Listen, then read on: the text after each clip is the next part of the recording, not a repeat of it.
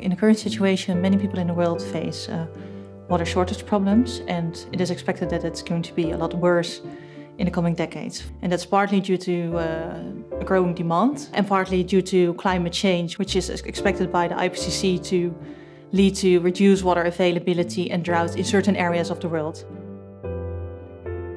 Through the work that we do with, with Deltares, we're able to use the best forecasting techniques.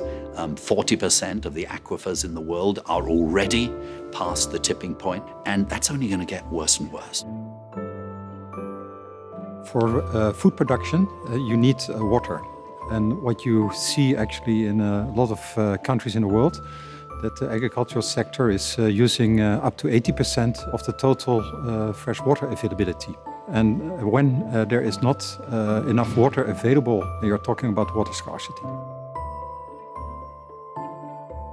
Well, in terms of human security, it's of course it's uh, dramatic. And some regions in the world, Sudan, Yemen, Syria, I mean, this issue is very much alive. And that's why all the politicians are now paying so much attention to this issue.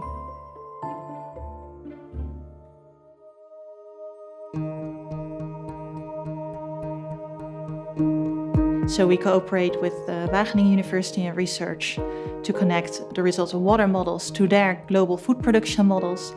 And we cooperate with Institute Clingendael to connect that again to the societal impacts and political uh, influences. Now bring together Deltares and Wageningen, we can uh, combine actually uh, both water availability and water allocation uh, together with the water uses. And uh, we see that as a very strong combination. Our contribution is very much on linking it to the mainstream uh, conflict risk uh, literature and also to look at the political debates and to link that with the knowledge of water and water data uh, provided by Deltares.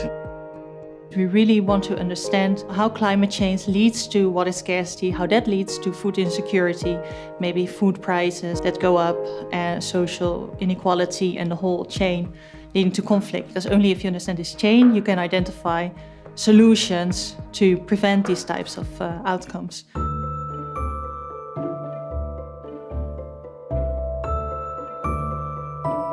I think there's many that can benefit by a better insight on the geopolitical impacts of water.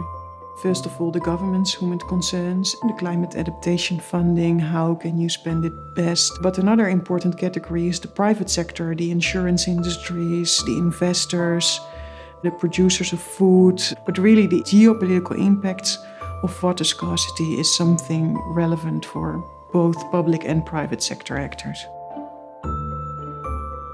We know for a fact 20 years from now, countries are going to face more difficult issues than today.